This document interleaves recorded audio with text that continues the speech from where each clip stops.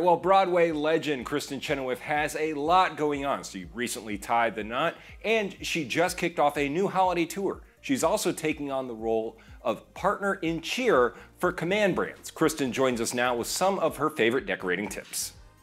I don't know if you've heard, but I am partnering with Command as their partner in cheer to show you how easily Command can help make the holidays magical.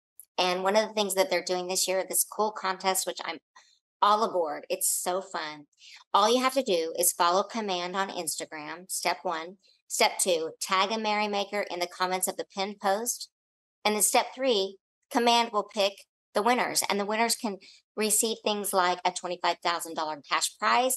They will win other products by Command, which I think is super cool. I've been using their products since I was in college. They make things so much easier, especially around holiday time when you want to focus on what's really important and you don't want to stress out. When you tag your Merrymaker, you can tell some of the comments of, as to why you chose them. And a merrymaker can be someone like my my own mother. My mother it brings joy and light to everybody she meets, especially around the holidays. She's the one in charge of decorating.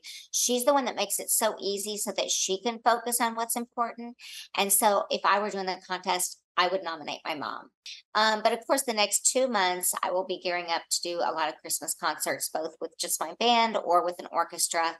And so people can go on my website and find out where I'm going to be. I just was in Santa Barbara. Next week, I'll be in San Francisco.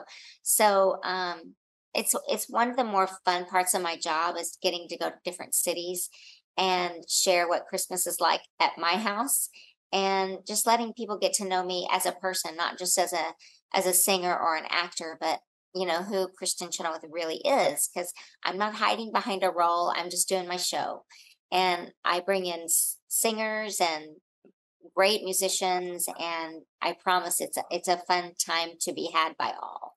You know, usually at the holidays, I, that's my big working time. But this year, I decided it's our first Christmas and first Thanksgiving. I'm not going to do any parades. I'm not going to do some concerts. I'm going to just spend time with my family. So on Thanksgiving, we go to Josh's house in Arkansas, and um, Christmas we go to Oklahoma for for my family. So I think this year we really want to be close to the people that um, are closest to us. You know, to go going home, but also just being home means being with your your people, and we want to we want to celebrate our first um, holiday season that way.